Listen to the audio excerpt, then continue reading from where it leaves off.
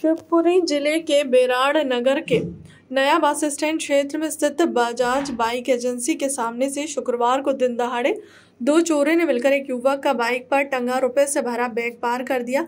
पलक झपकते हुई इस घटना से पीड़ित सहित आसपास के लोग भी चौंक गए। बाद में बाइक एजेंसी पर लगे सीसीटीवी कैमरे की फुटेज चेक की गई तो चोरी की पूरी घटना बाइक एजेंसी पर लगे सीसीटीवी कैमरे में कैद हो गई। घटना की रिपोर्ट पीड़ित ने बेराड़ थाना पहुँच दर्ज कराई है। क्या नाम है और क्या घटना हुई थी आपके साथ, बताएँ। और मेरा नाम है। मेरे साथ में ये घटना हुई तो कोई बोले कि पैसे जमा करेगी मैं पैसे लेके आया तो मैं मोटरसाइकिल पर फैला और फैला पास पासबुक भी और मेरा सामान भी था। मैंने मैंने जब मोटरसाइकिल रख के मेरे पास नंबर वो मोटरसाइकिल की क्या लगा दे गाड़ी की लाइट है।